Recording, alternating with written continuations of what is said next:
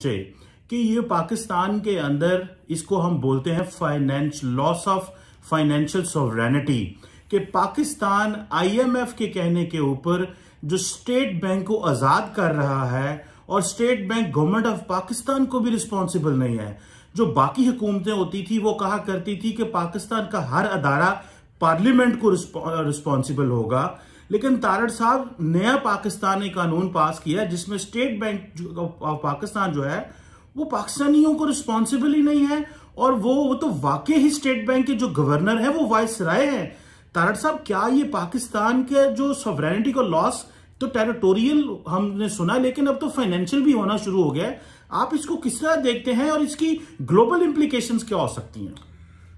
चीमा साहब, सबसे पहले ये देखें इसको कि ये कल जो एक ड्रामा किया गया सेनेट के अंदर, मैं समझता हूँ कि हर पाकिस्तान की, पाकिस्तानी के लिए वो एक इबरतनाक स्टोरी है।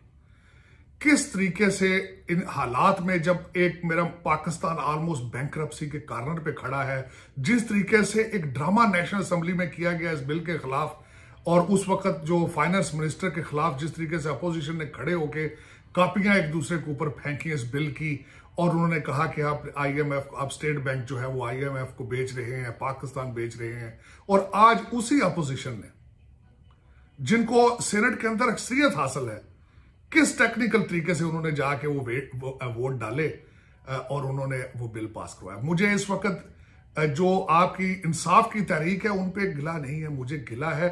जो वीक अपोजिशन है जो अवाम के सामने खड़ी होती है तो एक और चेहरे के साथ। लेकिन अंदर से जब आके बैठते हैं तो या तो फाइनेंशियल इंटरेस्ट या किसी और दूसरे अदारे के साथ मिलकर आगे, जिस तरीके से मैं समझता हूँ पाकिस्तान के खिलाफ एक साजिश की गई है, जिस तरीके से ये आईएमएफ का बिल जो है वो पास कराया है। अब मैं इसमें थोड़े से उस बिल के जो मैं, जो मेरी नज़र से वो बिल गुजरा है, उसके कुछ पॉइंट जो है वो आपके सामने रखना चाहूँगा। एक तो उस बिल के ज़रिए governor State Bank of Pakistan का तीन साल का जो अरसा उनकी मुद्दे म्याद है, उसको बढ़ा के पाँच साल कर दिया गया। उनको एक तो वो खुद आईएमएफ या वर्ल्ड बैंक के मुलाजम होते हैं, वो तीन और दूसरे मुलाजम डेप्टी गवर्नर जो हायर करेंगे, इसका मतलब है चार पाँच अमेरिकन मिल के पाकिस्तान की किस्मत का फैसला किया करेंगे, जो सबसे ज़्यादा खौफनाक खौफनाक और बदतरीन उसमें एक चेंज की गई है। वो ये है कि स्टेट बैंक ऑफ़ पाकिस्तान का जो गवर्नर है, उसको इम्यूनिटी हासिल है, उसको एग्जेम्पन हासिल है आपके अदारों से, नैब से और दूसरा मतलब दर हकीकत यह है कि उसको करप्शन करने की खुली छुट्टी दी गई है। वो बिल्कुल आज़ाद होगा, किसी को जवाब देनी होगा। और साथ क्योंकि मेरा बैकग्राउंड लीगल बैकग्राउंड है और उन्होंने कहा है कि वो हर वो काम कर सकता है, चाहे वो दयानदार, दयान, उसके पीछे सिर्फ़ एक चीज़ है, दयानतदारी से हो। लेकिन दयानतदारी को डिफाइन नहीं किया गया। अब वो दयानतदारी में चाहे नोट छापना शुरू कर दे ज़्यादा। वो दयानतदारी में अपने बच्चों की ट्यूशन फ़ीस दे वो भी एक अच्छा काम है वहाँ से दे। वो दयानतदारी से जो मर्ज़ी कर ले लेकिन वो से, वो स्या सफ़ेद का मालिक है। लेकिन शर्मनाक हद है कि जिस तरीके से एक तो रात को सुना साढ़े ग्यारह साढ़े बारह बजे उस बिल को पेश किया गया कि किस तरह उसको जिसको कहते हैं ना पाकिस्तान में इस वक्त आपकी हर पार्टी के अंदर पोलिटिकल इंजीनियरिंग है। वो सारे इंजीनियर हैं। किस तरीके से लूटना है पाकिस्तान को उस इंजीनियरिंग में हर एक के पास पीएचडी है। उसी तरह ये जो इंसाफ की तहरीक है, इन्होंने रात के साढ़े ग्यारह, बारह बजे बिल पास पेश किया। और अफसोसनाक बात यह है कि उसमें ना गिलानी साहब गए, वो एक, वहाँ पे एक दलावर ग्रुप है, वो, ना वो गए, जो मेरा मकसद इस तरह के लोग हैं अपोजिशन वहाँ मेजोरिटी में थी, बाहर लोगों के लिए ड्रामा कुछ और है, लेकिन सुना है वहाँ पे पैसों की तब्दीली हुई, वहाँ मुख्तलिफ़ अदारों ने अपना इन्फ्लुएंस अपना प्रेशर यूज़ किया। और पाकिस्तानी अवाम के मुँह पे एक थप्पड़ मारा है। इस पर जितना भी आप एहतजाज कर सकें, इसके ऊपर जितना भी बोला जाए वो कम है। मैं यहाँ पे कुछ और चीज़ आपको माजी में याद कराना चाहूँगा कि इनो, मैं हमेशा ये कहता हूँ कि आज जो पाकिस्तान जहाँ खड़े हैं, इसके मूजद और फाउंडर थे अयूब खान और सिकंदर मिर्ज़ा। अयूब खान दौर में एक शुएब साहब थे जो फाइनेंस मिनिस्टर थे, वो यहाँ से वर्ल्ड बैंक से ले जाया गया। जो मैं बात आपको बताना चाहूँगा, जो मैं हिस्ट्री में पढ़ रहा था कि उन्होंने जितना अरसा वो आपके फाइनेंस मिनिस्टर रहे, वो साथ वर्ल्ड बैंक के भी मुलाजम रहे। उन्होंने जॉब से रिजाइन भी नहीं किया था। ये आपका माजी है। आप चाहे मोइन कुरेशी आए चाहे कोई और आए, मेरा मकसद एक एक हाइब्रिड स्टेट एक बनाना रिपब्लिक और इन आजकल के अंडर गिवन सर्कमस्टांसिस में जब इंसाफ की तहरीक जो है वो बिल्कुल खत्म हो चुकी है उसमें कोई दम नहीं रहा। उन्होंने, आपने देखे जिस तरीके से जो टीम है, कुछ सौ से ज़्यादा जो इंपोर्टेड आपके वज़ीर और मशीर हैं, वो क्या वहाँ पे कर रहे हैं?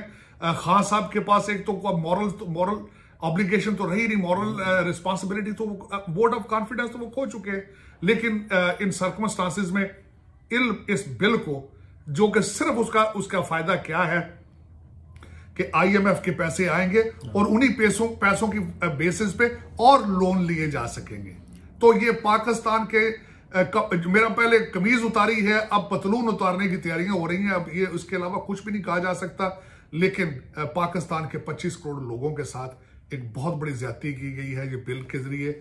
और जिस टेक्निकल तरीके से, मैं ये समझता हूँ, हमारे बच्चों को पढ़ाना चाहिए ये फ्यूचर में, कि देखें कि अपने जाति मुफादा मुफादात में जब ये सेनेट में जाते हैं तो सारे जो करप्शन का अलायंस करने वाले हैं, किस तरीके से इकट्ठा होकर आपका खून चूसने की तैयारियाँ करते हैं?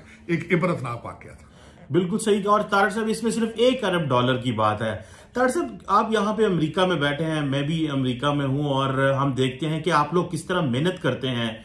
और जो डियास्पोरा अमेरिका में बैठता है, या यूरोप में, या दुनिया में कैसे, जब इस तरह की चीज़ें आप देखते हैं जो पाकिस्तानी अमेरिकन हैं, या जो इंग्लैंड में बैठे हैं, या दुनिया में कहीं भी बैठे हैं तो यहाँ पे लोगों की क्या फीलिंग्स आती है कि वो अशराफिया, वो लोग जिनको चुन के आप पार्लियामेंट में बेचते हैं और जिनकी आपकी फैमिलीज़ और आप लोग इनको सपोर्ट करते हैं, इनको वोट करते हैं और आप जब इंटरनेट जो फ़र्स्ट वर्ल्ड को देखते हैं कि यहाँ पे रूल ऑफ़ लॉ किस तरह चल रहा है या निज़ाम ज़िंदगी किस तरह चल रहा है तो आप लोगों के ऊपर क्या बीतती है और इसको किस तरह जस्टिफाई करते हैं और इससे जो है आप जब लोगों में घूमते हैं तो फिर इस तरह का जो लॉस ऑफ़ फाइनेंशियल सॉवरानिटी होता है, उससे क्या कॉन्फिडेंस में कमी आती है या ये ये जो पाकिस्तानी डियास्पोरा इसको इस तरह के जो इमेज है पाकिस्तान का और हमारी सियासतदानों का, उसको किस तरह देखते हैं?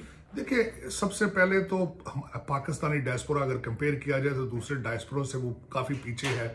चाहे उनकी पॉलिटिकल इन्वॉल्वमेंट हो, चाहे उनकी एजुकेशनल क्वालिफिकेशन स्टैंडर्ड्स हो।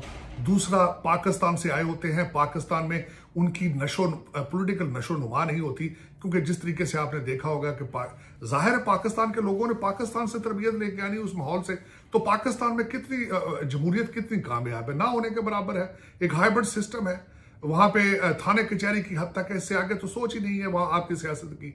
तो उन इन सरकमस्टांसिस में जब यहाँ आते हैं और दिल खून का आँसू होता है जब हम बांग्लादेश को देखते हैं जब श्रीलंका को देखते हैं आपके भारत को देखते हैं इंडिया को देखते हैं मैं दो पिछले दो दिन मेरे लिए बहुत मुश्किल थे कि आपका नंबर 140 है और भारत जो है वो पचासी पे है दो साल से और साइज़ में आपसे तीन गुना ज़्यादा बड़ा है। करप्शन वहाँ भी मौजूद है। लेकिन आपका डीएनए आपकी आदात आपकी हर चीज़ उनसे मिलती है। आप हर चीज़ में उनका मुकाबला करने की कोशिश करते हैं। उन्होंने एस फोर हंड्रेड लिया है। आप कहते हैं हम ड्रोन से उसको करेंगे। आ, उन्होंने राफेल लिए हैं। आपको खैरात में चाइना ने आपको चार जहाज़ दे दिए हैं। हर चीज़ का कंपैरिजन करते करप्शन में क्यों नहीं करते आप? फॉरेन पॉलिसी में क्यों नहीं करते? जयशंकर ने जिस तरीके से आपकी इंडिया की फॉरेन पॉलिसी को जिस लेवल पे ले जा चुके हैं डॉक्टर जयशंकर हमारे कुरैशी साहब हमारे जो आ, आ, हमारे मुर्शद बादशाह है वो उसको कंपेयर क्यों नहीं करते? आप हर दूसरी चीज़ का कंपैरिजन भारत के साथ करते हैं लेकिन इसमें क्यों नहीं करते? आप जीडीपी में करते हैं, आप महँगाई में हर चीज़ का, हालाँकि वो बिल्कुल एक टोपी ड्रामा आप दिखाते हैं लोगों को। आप उनके साथ उनकी आमदनी नहीं दिखाते, आप उनके साथ उनको डॉलर के रेट नहीं बताते, आप उनका सोशल सिस्टम उनका कम्युनिटी सिस्टम उनका सपोर्ट सिस्टम वेलफेयर सिस्टम नहीं दिखाते। आपका इस वक्त, मैंने आपको शायद पहले भी एक दो दफ़ा किया था।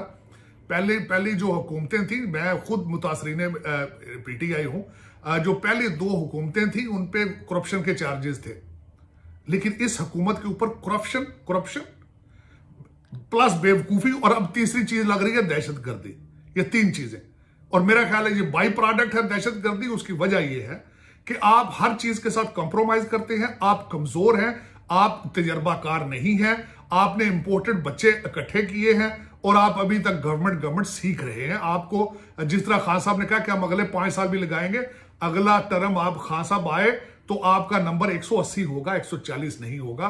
खुदा ना करे कि पाकिस्तान में इस तरह के आगे माजी में लीडर आए जो हमारे मादरे मिल्लत, मादरे मिलत माँ होती है और उसके कपड़े ना वो फाड़े, उसके, उसकी बेहतरी की तरफ़ सोचे।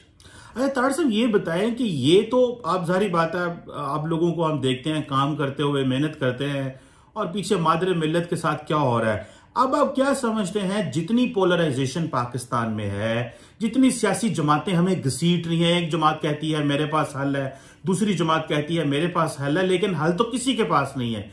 क्या ये वक्त आ नहीं गया कि एक नेशनल लेवल पे एक सोच हो, जिसमें सारी कौम और मुल्क इकट्ठा हो? ये ना हो कि हम एक जमात को सपोर्ट करें और मुल्क जो है वो पीछे रह जाए। एक जमातों और लीडर्स और इंडिविजुअल अप्रोच ने इस मुल्क को जो ब्लीड किया है जो एक शख्स की अप्रोच है, उसने इस मुल्क को ब्लीड किया है। क्या कोई इस तरह का मैकेनिज्म नहीं हो सकता, तारड़ साहब, जिसमें सारी नेशनल लीडरशिप सोच के, मिल के बैठे और इस तरह के चैलेंजेस को देखे, जिसमें आप देखें, नरेंद्र मोदी ने पूरी दुनिया में जाके जिस तरह एक, वो कहते हैं ना कि इंडियन अवाम को कॉन्फिडेंस दिया है। हमारे प्राइम मिनिस्टर जाते हैं तो वो सिर्फ़ अपनी बात करते हैं, बाकियों को वो गाली देते हैं, वो जाते हैं तो वो इंडिया की बात करते हैं। ये जाते हैं तो सिर्फ़ पीटीआई की बात करते हैं। इस तरह बाकी सियासी जमातें भी हैं तो क्या ये नहीं करना चाहिए कि एक कौम को इकट्ठे होकर एक कौम की बात की जाए और सारी लीडरशिप इकट्ठी होकर मुल्क को अपलिफ्ट करे? ये ना हो कि हम एक दूसरे अपने आप को अपलिफ्ट करें और मुल्क पीछे रह जाए। इसके ऊपर काम नहीं होना चाहिए या क्या किया जा सकता सब nations cannot survive without nationalism nationalism आपका अगर नहीं है, पाकिस्तानियत आप में मौजूद नहीं है आपके पास आपके अंदर खौफ खुदा मौजूद मौजूद नहीं है तो आप कुछ भी नहीं कर सकते। अब मैं थो, थोड़ा सा ये बताना चाहूँगा आपने वो जो बिल्कुल मेरे दिल की बात की खास साहब ने यहाँ बहुत बड़ा जलसा किया वाशिंगटन डीसी में लेकिन उसके अंदर आके खास साहब कह गए कि मैं जाते ही नवाज़ शरीफ से एयर कंडीशन। लूँगा। वो यार जो अमेरिका ने एक बैठा है अमेरिकन डेस्पोरा उसको क्या फ़र्क पड़ता है? आप एसी दो या ना दो यहाँ हो बात करो कौम की इस्लाम की बात करो आप और चीज़ें ग्लोबल इश्यूज़ की डिस्कस करो। लेकिन यही एक बड़ी बात है कि यहाँ पे पर्सनल रिलेशनशिप बनाने आते हैं लोग हमारे सियासतदान और उसके बाद अब मैं जो जो अगली तरफ़ बात आ, अगली बात आपसे करना चाहूँगा as a as a student of political science Cheema साहब इस वक्त पाकिस्तान के अंदर सबसे बड़ा एक खतरा जो है वो आपकी पार्टियाँ खतरा नहीं है।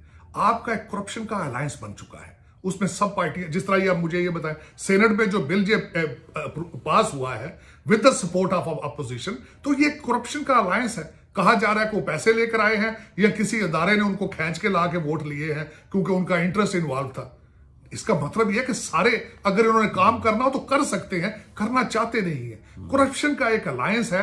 जब तक वो अलायंस नहीं टूटेगा, कुरस्ता नज़र नहीं आएगा। लेकिन मैंने जब ये कल आपका स्टेट बैंक ऑफ़ पाकिस्तान का जो बिल जब मैंने पढ़ा है तो खुदार आप ये सोचें कि आपके सी पैक के बिल को जिस तरीके से नैब से आपने उसको इम्यूनिटी दी थी, उसको चीज़ों से बचाया था, अब इसको बचाया है, आप बारी बारी सारे अदारों को करप्शन के लाइसेंस दे रहे हैं।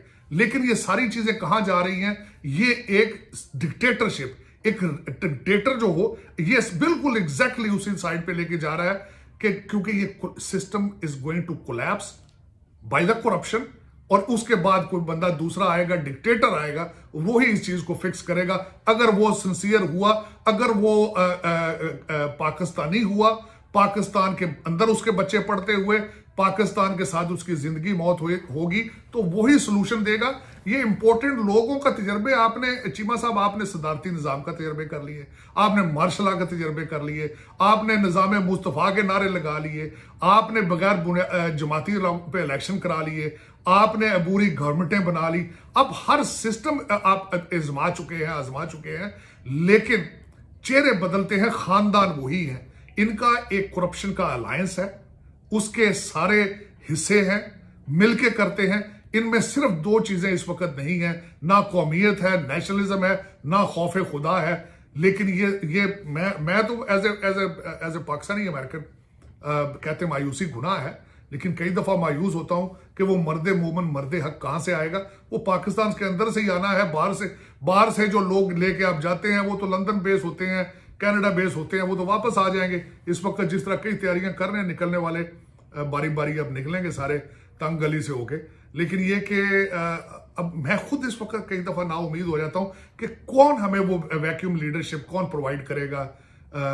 वो इस, इस, इस हमें इस करप्शन से बेरा रवि से बदयांती से, बेईमानी से हमें निजात कौन कौन लीड करेगा? हमें ये, इस ओपन क्वेश्चन मार्क बिल्कुल सही कह रहे हैं तार साहब, ये एक, बिल्कुल एक ओपन क्वेश्चन मार्क है और जिस तरह आपने कहा कि ये आपको लोकल सोल्यूशन चाहिए लोकल लीडरशिप चाहिए, हमें ये इंपॉर्टेंट चीज़ें बंद करनी चाहिए और सारे निज़ाम हमने देख लिए हैं। एक दफ़ा पाकिस्तान का सोच के भी देख लें, शायद हमें जो है वो पाकिस्तानियों को और पाकिस्तान को नई राह मिल सके। बात तो आज हम करेंगे। स्टेट बैंक ऑफ़ पाकिस्तान का अटोनमी बिल तरमीमी बिल पेश भी हुआ और हुकूमत ने पास भी करवा लिया। इसके बावजूद के 14 मेंबर्स की जो तादाद थी, वो ऑपोजिशन को इसमें बढ़तरी हासिल थी। यानी ये कि 42 और 57 ये थी रेशो लेकिन ऑपोजिशन के कुछ मेंबरान जो कि एबसेंट रहे, वो आए ही नहीं और उसके बाद ये बिल पास हो गया। इसमें किसकी क्या साजिश थी? क्योंकि आईएमएफ का जो प्लान है, वो ये तरमीम किए बगैर पूरा नहीं हो सकता था। आईएमएफ की तरफ़ से ये दरकार था कि उनकी ये डिमांड थी कि ये किया जाए, तरमीमी एक्ट लाया जाए, और वो हो गया। अब ज़ाहिर है कि कोई फ़ोन करेगा और कहेगा कि आपने नहीं जाना तो कैसे जा सकता है वो बंदा? तो वैसे फवाद चौधरी ने इसके मुतालिक बिल्कुल ठीक कहा है कि ना तीर चले, ना तलवार इनसे। ये बाजू मेरे आजमाए हुए हैं। अब वो क्योंकि इन पार्टियों में रहकर आए ना, उन्होंने ठीक कहा बल्कि मैं तो कहती हूँ कि इस बिल के पास होने के बाद जो हुकूमत, जिस जिस शख्स ने जो जो कहा है ना, बिल्कुल ठीक ठोक बजा के कहा है, जो इनको इनको क्रिटिसाइज़ किया है अपोजिशन को। मैं आपके सामने अभी डिटेल्स रखती हूँ कि हुआ क्या है, तरमीमी बिल क्या है, और इसके बाद किस तरीके से आईएमएफ का पूरा कब्ज़ा होगा, और क्या क्या चीज़ जो है वो हुकूमत या सियासी मदाखलत से इसको आज़ाद जो किया गया, उसमें क्या शामिल है। लेकिन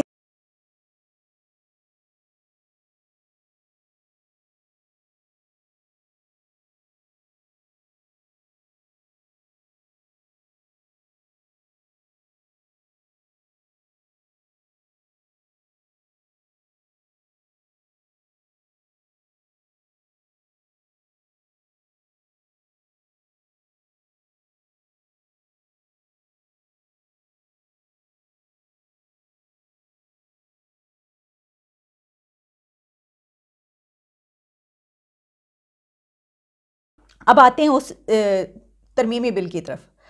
हुआ कुछ यूँ है कि देखें, इतना फ़र्क था मेम्बरान में कि 42 एंड 57 57 अपोजिशन के। बड़ी आसानी से जो है, इस बिल को रोका जा सकता था और पास होने से बचाया जा सकता था, यानी पास ना होता ये बिल। लेकिन आप जानते हैं कि जब फ़ोन जाएगा और कहा जाएगा कि ये तो आपने जो है वो गायब हो जाना है, या आपने आना ही नहीं है, या फिर ये कि आपने वोट देना है इसके हक़ में, या आपने वोट नहीं देना है इसके हक़ में। जिस तरह के इससे पहले ये तनकीद की जाती है कि हुकूमत ने जो भी बिल पेश किए हैं, आप ये देखें, ये कहा जाता है कि गवर्नमेंट कितनी कमज़ोर है, इतनी कमज़ोर है कि आज तक गवर्नमेंट ने जितने दर्जनों बिल पेश किए, सब पास करवा लिए। और अपोजिशन मुँह देखती रही। ठूस हो गई बिल्कुल मतलब शर्म का मकाम है। तो ये जो नारे हैं ना स्लोगन्स नो कॉन्फिडेंस वोट लाएँगे, हम इमरान खान को उतार देंगे। बिल्कुल छूट है, बिल्कुल मतलब कल के बाद बिल्कुल ऐसे ही लग रहा है कि बिल्कुल गलत है। मैं कोई ऐसा लफ्ज़ बोलने लगी थी बकवास, लेकिन मैं ये नहीं कहूँगी, मैं कहूँगी बिल्कुल गलत है। इसकी वजह यह है कि अगर आप 57 मेंबर्स होने के बावजूद यूसुफ रज़ा गिलानी, जो कि प्राइम मिनिस्टर रह चुके हैं पाकिस्तान के, वो एबसेंट थे। और पता ही चला कि वो मुल्तान में किसी की डेथ हो गई थी तो अगले दिन उसके, उसमें ताज़ियत के लिए गए हुए थे। और कहा गया कि ये तो बड़ा ज़रूरी काम था। कैन यू इमेजिन कि आपकी ड्यूटी पाकिस्तान का एक इतना बड़ा बिल पास हो रहा है जिसमें कि स्टेट बैंक ऑफ़ पाकिस्तान को आईएमएफ के तहत उसके प्लान में, में जो है वो उसके ऊपर ही चलेगा ना अब सारी चीज़ें ये एक जो बात की जा रही है। उसमें आपने अपनी राय देनी है आपने अपने वोट का इस्तेमाल करना है और आप कह रहे हैं कि आपने किसी की डेथ पर आप गए तो वो ज़्यादा ज़रूरी है। जाना। अनबिलीवेबल अच्छा सिर्फ़ यही नहीं बल्कि इसके अलावा और भी कुछ देख, बहुत कुछ देखने को मिला। मसलन ये कि और भी जो कुछ अरकान थे, एक तो बाहर थे, कहा जा रहा है आउट ऑफ़ द कंट्री फिर कई ऐसे थे जो थे, वो चले गए, गायब हो गए। ऐसा भी हुआ। तो ये सब कुछ जो खिचड़ी पकी है, ये वही है, बिल्कुल वही खिचड़ी है जो इससे पहले पकी थी। कई एक बिल जब मंजूर हुए थे तो मुसद्दिक मलिक ने बिल्कुल सही बात की है। उन्होंने कहा कि स्टेट बैंक का बिल पेश हुआ और अपोजिशन ख़ासतौर पर leader of the opposition Yusuf Raza Gilani, गायब। एक वोट, यानी गिलानी साहब का वोट कम होने से पाकिस्तान को आईएमएफ का गुलाम बनाने का बिल मंजूर हो गया है। तो पाकिस्तान को आपने स्टेट बैंक ऑफ़ पाकिस्तान को हवाले कर दिया, पाकिस्तान को आईएमएफ का गुलाम बना दिया। वो तो खैर, जब आपने आईएमएफ प्लान लिया है तो गुलाम तो तभी बन गया। अच्छा ये जो बात की जा रही है कि देखें, इसमें जो है, किस तरीके से, मैं आपको कुछ थोड़ी सी डिटेल्स बताई देती हूँ। इतना जो ये बिल है, इसकी इतनी डिटेल में तो हम नहीं जा सकेंगे, इतने शॉर्ट प्रोग्राम है, लेकिन इसमें यह है कि जो फोर्टी फाइव अमेंडमेंट्स हैं पैंतालीस। फोर्टी फाइव अमेंडमेंट्स हैं जिसमें कहा जा रहा है कि कोई टेन के करीब जो है वो नई क्लॉजेस शामिल हैं। अच्छा अब इसमें पीपी एक्ट 1956 जो है वो मुतारफ़ कराई गई है एस पी पी एक्ट 1956 और इसमें आ, अब ये होगा कि जो हुकूमत है गवर्नमेंट है वो स्टेट बैंक ऑफ़ पाकिस्तान से कर्ज़े नहीं ले सकेगी लोन नहीं लेगी। अच्छा तो होगा क्या? क्योंकि ज़ाहिर है कि जो सियासी मदाखलत है स्टेट बैंक में वो ख़त्म हो जाएगी। लेकिन सियासी मुदाखलत ख़त्म करने का जो सिर्फ़ नाम लिया जा रहा है, बात यह है कि पाकिस्तान की मुदाखलत स्टेट बैंक में ख़त्म हो जाएगी और आईएमएफ इसको चलाएगा। अगर आप कान इधर से पकड़ें या उधर से पकड़ें, ठीक है, अब होगा क्या कि जो पाकिस्तान की गवर्नमेंट है, वो जो कर्ज़े है, वो लेगी निजी बैंकों से। और फिर ये कि वो एलीट क्लास, वो अशराफिया कारोबारी अशराफिया जिसके के मिल्कियत है निजी बैंक, उनका तो चांदी चांदी, उनका तो फ़ायदा ही फ़ायदा, आप सोच सकते हैं। तो ये और बहुत कुछ शामिल है इसके अंदर, जिसके ऊपर हम कोशिश करेंगे किसी हम एक्सपर्ट को भी ले लें इस तरीके से और बात करें। चलें, अगर कोई आप कहते हैं कि कोई अच्छी बात है तो हम उस पर भी बात कर लें, कोई मसला नहीं है। लेकिन जो लोग, जो हुकूमती लोग ये कह रहे हैं ना कि ये तो अच्छा हुआ है, आप सोचिए कि अगर हुकूमत इस वक्त अपोजिशन में होती तो वो उस हुकूमत का क्या हाल करती जिसने ये बिल पास करवाया होता? ऐसा ही होता है। जो हुकूमत में होता है वो ये कहता है, इसके ऊपर फवाद चौधरी ने बड़ी बड़ी बहुत मज़े की बात की बड़ी दिलचस्प बात की जिसको मैं इंडोर्स करूँगी। उन्होंने कहा कि जो अपोजिशन का हाल है ना वो तो आ, मैं परेशान हूँ कि कहीं ऐसा ना हो एक दूसरे के कपड़े फाड़ लें। ये जो ख्वाब देख रहे हैं तो कहीं एक दूसरे के कपड़े ना फाड़ लें और मौलाना फजल रहमान अपना जो मंजन और हलवा बेचने की कोशिश करें वो उनका हलवा नहीं बिकेगा। तो यकीन करें बिल्कुल ठीक कहा उन्होंने। बिल्कुल बिल्कुल सही कहा। शहबाज गिल ने जो ट्वीट की वो भी ठीक। और फवाद सब जो कर रहे थे ना, वो सही कर रहे थे। क्योंकि इसकी वजह यह कि उन्होंने करके दिखाया, उन्होंने कहा, हम पास करवाएँगे, पास करवा लिया। लेकिन अगर मैं अब ये कहूँ कि ये जितने भी लोगों ने मिलकर वो हकूमती, हकूमत, गवर्नमेंट और वो तमाम मेंबर्स जो एबसेंट थे इन सबने मिलकर, जो किसी के इशारे के ऊपर, जो गायब रहे, नहीं आए, इन सबने मिलकर जो ये बिल पास करवाया है तो इनको क्या अब हम इंडियन एजेंट कहें, हम यहूदी एजेंट कहें, या हम क्या यहूद नसारा की हम कोई साजिश कहें, या हम ये कहें कि ये सब राह से मिल गए ये राह की साजिश है? क्या कहें इसको? मतलब ये तो बिल्कुल मुँह खोल के, मुँह फाड़ के हर एक को ये कह देते हैं ना, ज़रा सी कोई तनकीद की जाए, कोई इनसे इख्तलाफ कर लिया जाए तो फ़ौर जो है ये एजेंट का लेबल लगाते हैं। इनको अब क्या कहा जाएगा? कि जिन्होंने स्टेट बैंक ऑफ़ पाकिस्तान को बेच डाला। ठीक है? तो आपको हम क्या कहेंगे? आपको भी हम कोई एजेंट ना कह दें। यही होना चाहिए। तो ये है किस्सा, ये है सारी सिचुएशन लेकिन इसी के दौरान एक और दिलचस्प खबर जो आई, वो ये थी कि प्राइम मिनिस्टर कब डेढ़ साल रह गए, आप जानते हैं। इस डेढ़ से दो साल में उन्होंने कहा कि कोई और धमाका भी किया जाए। क्योंकि उन्होंने अपने तमाम जो है ना मेंबर्स आप सोचिए, उन्होंने कहा हमने बड़े अच्छे तरीके से डिलीवर किया है। आप बिल्कुल धड़ल्ले से जो है वो इसमें जाएँ, ये जो बल्दियाती इंतबात हो रहे हैं, कोई प्रॉब्लम नहीं। आप जाके लोगों को बताएँ, आपको, आपकी जीत होगी। ये उनका कहना है। मेरा ख्याल है कि जिनको वो कह रहे हैं ना, आपने डिलीवर किया, धड़ल्ले से जाए, उनको लोगों के पास भेजने से पहले किसी नफसियाती डॉक्टर के पास भेजें। अच्छा जी, जो तब्दीलियों की खबर आ रही है, वो कुछ इस तरीके से बड़ी इंटरेस्टिंग है, इसलिए मैं आपको बता रही हूँ कि कहा ही जा रहा है कि जो कैबिनेट है, उसमें कुछ रीशफलिंग करने की बात हो रही है। और प्राइम मिनिस्टर ने ये सोचा है कि कुछ रीशफल कर दिया जाए। अब वो जो हो रहा है कि फवाद चौधरी के पास, क्योंकि आप जानते हैं इंफॉर्मेशन मिनिस्ट्री है तो उनकी इंफॉर्मेशन मिनिस्ट्री जो है, लेकर उनको डिफेंस मिनिस्ट्री जो है देने का कुछ खबरें आ रही हैं कि उनको डिफेंस मिनिस्टर बना दिया जाए और जो इंफॉर्मेशन मिनिस्ट्री है, वो शेख रशीद को दे दी जाए। अब शेख रशीद साहब जो है, उन्होंने इनकार कर दिया। उन्होंने कहा, ना भाई, मैं तो नहीं लेने का। सोचें ज़रा। अब शेख रशीद साहब वज़ीर दाखिला होम मिनिस्टर वो बन के बैठे हुए हैं। आप उनको कह रहे हैं, होम मिनिस्ट्री से आप ज़रा थोड़ा इन्फॉर्मेशन की तरफ़ चले जाएँ। वो तो किसी कीमत पर कबूल नहीं करेंगे। खबर यही है कि उन्होंने कहा कि नहीं, मैं इसको एक्सेप्ट नहीं करा अच्छा और फिर जो होम मिनिस्ट्री है, वो परवेज़ खटक को देने की बात हो रही है कि उनको बनाया जाएगा होम मिनिस्टर। आपको याद है ना, कुछ दिन पहले वो बड़ा सख्त नाराज़ हुए थे। हमने उसके ऊपर प्रोग्राम भी किया था, काफ़ी बात हो रही थी, जिसमें उन्होंने कहा था वो दू बदू खड़े हो गए थे। उन्होंने कहा था, जी मैंने आपको वोट दिया, आइंदा मैं वोट नहीं दूँगा। प्राइम मिनिस्टर को उन्होंने कहा था, हम आपको वोट नहीं देंगे। हम तो आवाम के पास जाने के मुँह दिखाने के काबिल नहीं रहे, हम काम ही नहीं कर पाते। तो देख लें उसका असर क्या हुआ। उसका असर ये हुआ कि जो परवेज़ खटक साहब है, उन्होंने कहा, चलो, डेढ़ साल रह गया डेढ़ दो साल, इसमें परवेज़ खटक साहब को जो है वो होम मिनिस्टर बना दो। तो अब देखते हैं कि शेख रशीद और परवेज़ खटक में कौन जीतता है। बड़ी ज़बरदस्त है ये लड़ाई। इसमें देखते हैं किसका पलड़ा भारी रहता है। शेख साहब जो हैं वो इंफॉर्मेशन वैसे तो शेख साहब पहले इंफॉर्मेशन मिनिस्टर रह चुके हैं किसी हुकूमत में। और उनका काम क्या होता है? वो होम मिनिस्टर बनकर आए या इंफॉर्मेशन मिनिस्टर आए, आके उन्होंने बैठ के जो उनका दिल करता है वो कह देते हैं, बोल देते हैं। लेकिन इस मरतबा जो है, अब उनको जो, देखें ना होम मिनिस्टर होंगे तो बड़ा करीबी ताल्लुक़ रहेगा एक जगह से। आप जानते हैं ना, सारे काम जो है उनसे पूछ के ही उन्होंने करने होते हैं। तो इन्फॉर्मेशन मिनिस्ट्री में तो इतना ज़्यादा मेरा ख्याल है कि डायरेक्ट वैसे तो वो रख सकते हैं उनका रहता ही है तभी तो वो रहते हैं हर जगह पर। लेकिन आ, वो ये सोचेंगे अच्छा मुझे इनसे दूर किया जा रहा है भाई मैं तो ये कबूल नहीं करूँगा। अभी तो तक तो उनका ये फैसला है लेकिन मैं ये सोच रही हूँ कि ये जो रीशफलिंग हो रही है इसका फ़ायदा क्या होगा डेढ़ साल में? मतलब आपको कोई इसका फ़ायदा नज़र आ रहा है? मुझे तो इसका कोई समझ में नहीं आ रही आ रही कि आप ये कहें अच्छा इसमें कुछ एडिशन की भी बात आ रही है वो अभी तक मेरे पास वो खबर नहीं है कि ऐड किसको किया जा रहा है? क्योंकि ये कहा जा रहा है कि दो तीन मिनिस्टर्स ऐसे हैं जिनको शायद सी ऑफ़ कर दिया जाए यानी बाय बाय टाटा। और उनकी जगह दो तीन को और शामिल किया जाए। एक कोई के पी के से बताए जा रहे हैं, एक दो हैं जिनको फारिग किया जाएगा। तो वो नाम हम सामने आएँगे तो ज़रूर आपके सामने रखेंगे।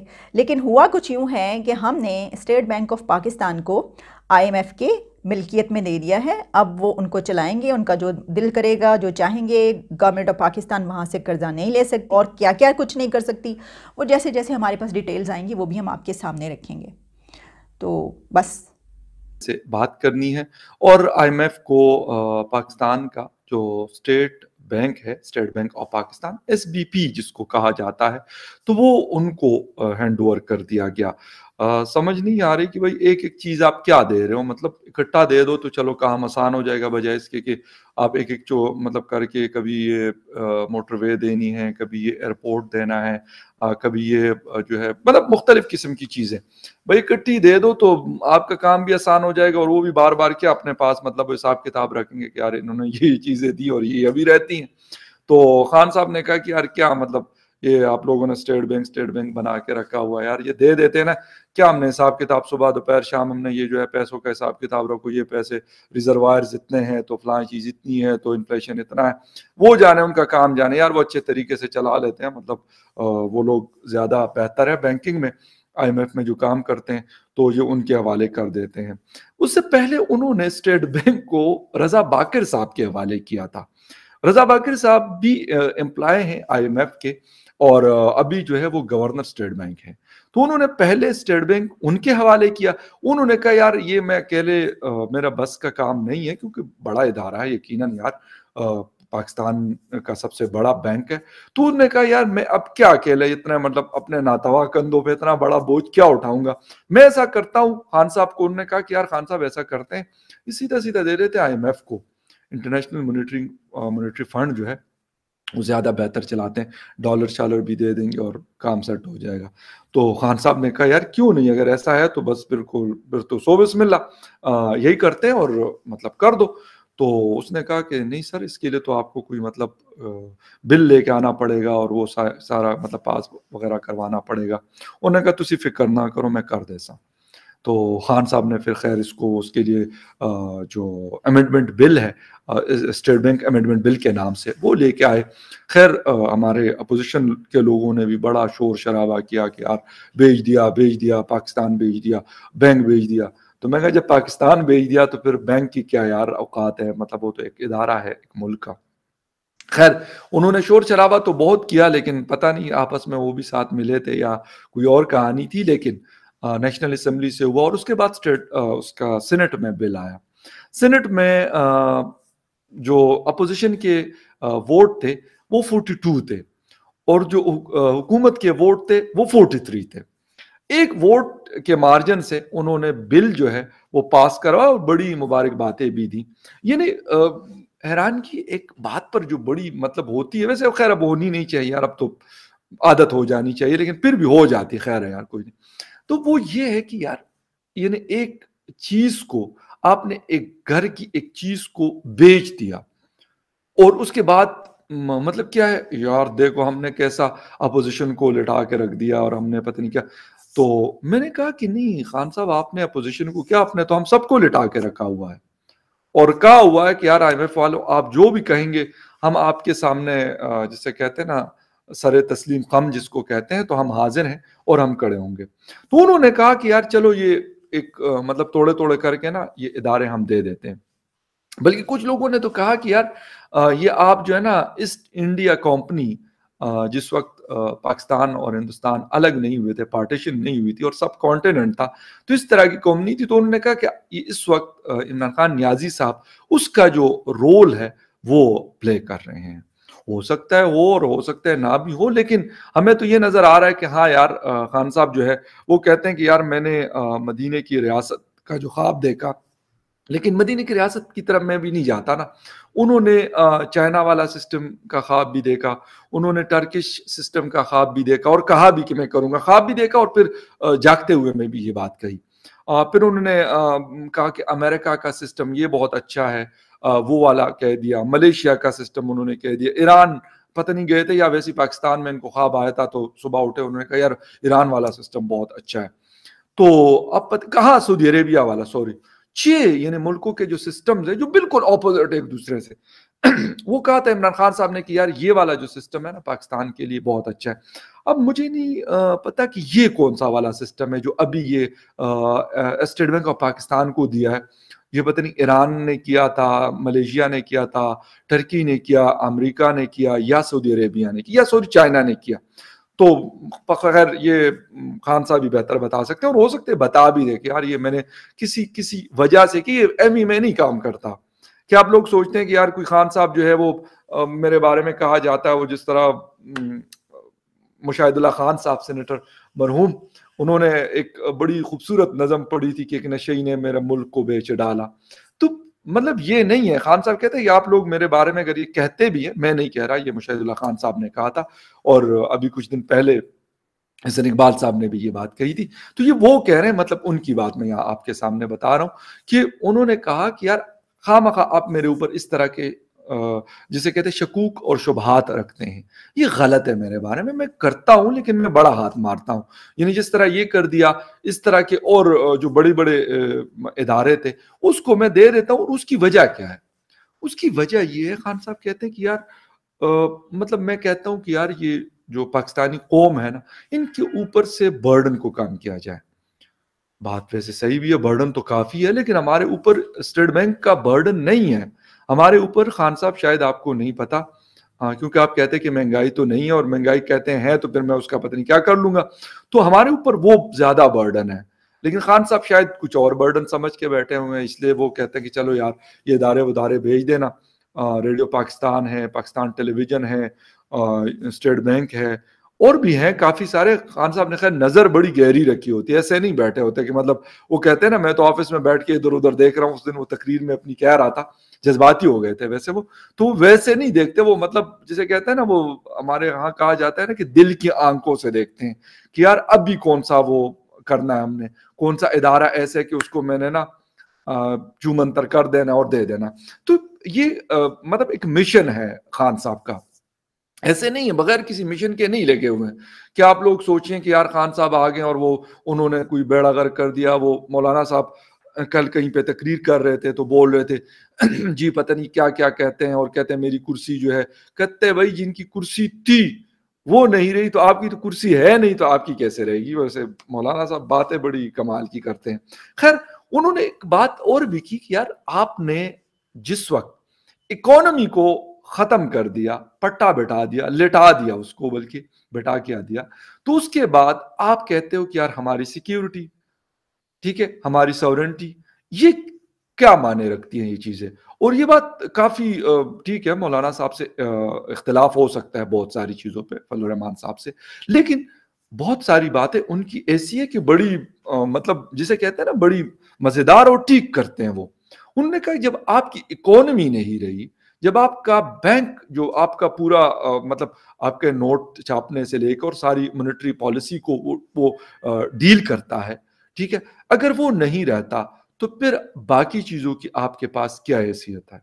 बिल्कुल मैं आ, बड़ा मतलब आ, इस बात से मौलाना साहब के बिल्कुल मैं सहमत हूँ एग्री हूँ मैं इस बात से कि उन्होंने ये बात बिल्कुल ठीक कही कि जब हमारी इकोनॉमी नहीं रहती तो फिर हमारी फॉरेन पॉलिसी या फिर हमारी बाकी पॉलिसी।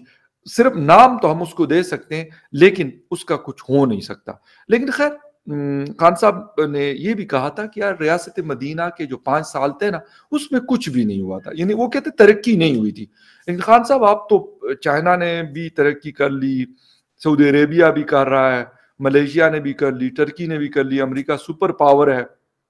पता नहीं हम कौन सी पावर हैं। ये बात बड़ी मतलब हैरान करती है और हम सुनने के लिए इंतज़ार कर रहे हैं कि खान साहब ये भी बता दें कि हम कौन सी पावर है।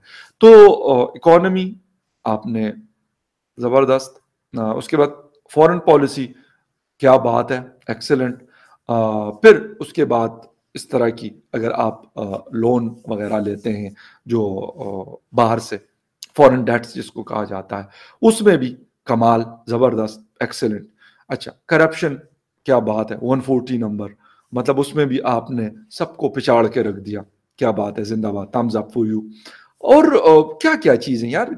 मतलब गिनती में आए तो शायद ये तो वीडियो बहुत छोटी पड़ जाएगी और एक पूरी लिस्ट है, उसके लिए मुझे एक अलग से लैपटॉप रखना पड़ेगा और उसमें फिर वो पूरी डिटेल जो है कि यार क्या क्या मतलब खान साहब जो है वो बेच चुके हैं और क्या क्या जो है वो बेचने के लिए तैयार है।